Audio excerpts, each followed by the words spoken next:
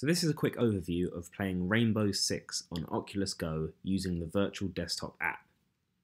The room I've chosen is this sort of nice computer room that you can choose between many different environments such as a cinema, a home theatre, etc etc. So let's jump into some gameplay. The video you're seeing is recorded directly from the Oculus Go.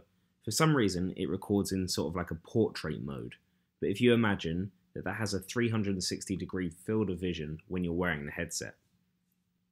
Now the setup I'm currently using is to have a PC connected via Ethernet to the router, and that PC runs Rainbow Six and Virtual Desktop. The receiving end is the Oculus Go running the Virtual Desktop app for Oculus.